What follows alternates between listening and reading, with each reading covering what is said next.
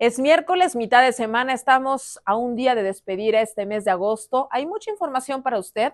Agradecemos que como siempre nos siga a través del 13.1 y por aquí pues le adelanto un poco de las noticias que estaremos tratando. Le platicaré acerca de los restos humanos que fueron hallados en Zacatelco, estado de Tlaxcala, eh, sobre unos o en campos de labor.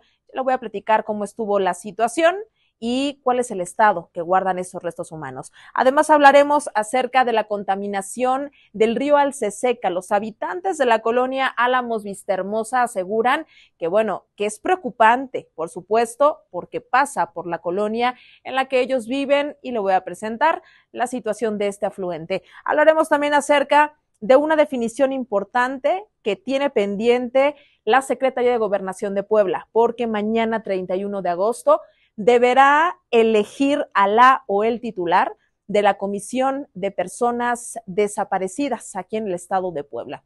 Y miren, Tlaxcala hay buenas noticias porque eh, resulta que el platillo típico de la región, que son tacos de canasta, va a aparecer en los boletos de la Lotería Nacional. Le tengo todos los detalles, más deportes, entretenimiento y muchas noticias más. Nos vemos en unos instantes.